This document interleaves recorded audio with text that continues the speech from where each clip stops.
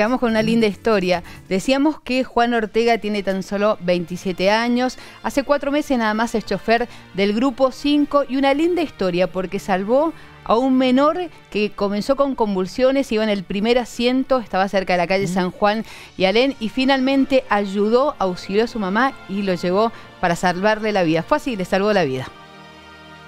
Sí, sí, fue en cuestión de segundos. Yo venía del recorrido 73 de Godoy Cruz, del barrio Supe, y bueno, eh, cuando venía bajando por calle San Juan, doblo en Alem, tenemos justo en la parada del micro ahí en asistir.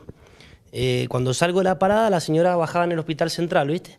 Así que, bueno, ahí se da cuenta que el nene no reaccionaba. Yo llegué hasta calle Rioja, me da el semáforo en rojo justo, y me largo a la orilla. Cuando escuché los gritos y cómo lloraba la madre, fue desesperante, ¿viste? Así que bueno, me salí del asiento.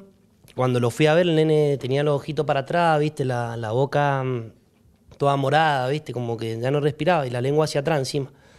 Eh, bueno, nosotros nos dan capacitaciones, pero nunca la practiqué en una persona y no podía perder tiempo. Así que lo primero se me cruzó, casi se le cae el nene a la madre, de la misma desesperación. Lo alcé, lo puse boca hacia abajo para el tema de la lengua, se le fuera para adelante. Y bueno, me bajé del micro y salí corriendo desde Rioja hasta San Juan y la madre atrás mío.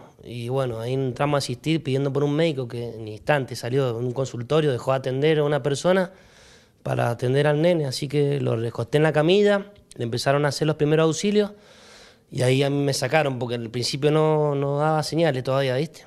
La verdad que me siento, eh, me siento raro, ¿viste? Pero contento, contento que salió todo bien con el nene y todo.